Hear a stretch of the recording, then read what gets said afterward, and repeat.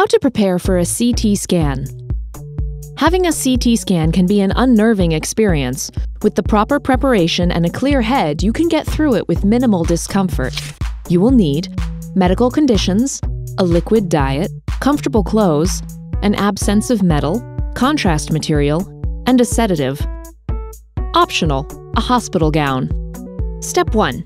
Let your doctor know if you have any conditions which may render you ineligible for a CT scan, such as pregnancy, claustrophobia, or allergies to contrast dye prior to the appointment.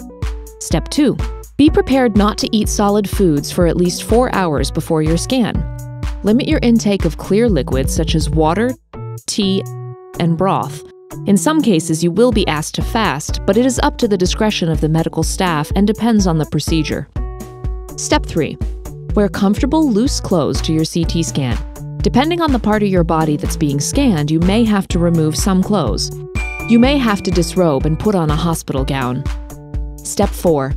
Remove all of your jewelry before the scan and remove any other objects that may contain metal, such as dentures, belt buckles, eyeglasses, zippers, and buttons.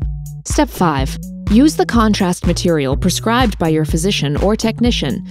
Depending on what is being scanned, such as your stomach, brain, or liver, you may need to take something to highlight part of your body. They are administered by a doctor performing the scan shortly before the procedure. Contrast materials can be administered orally, intravenously, or as an enema. Step 6. Prepare a child who's having a CT scan by administering a sedative or, in rare cases, anesthesia.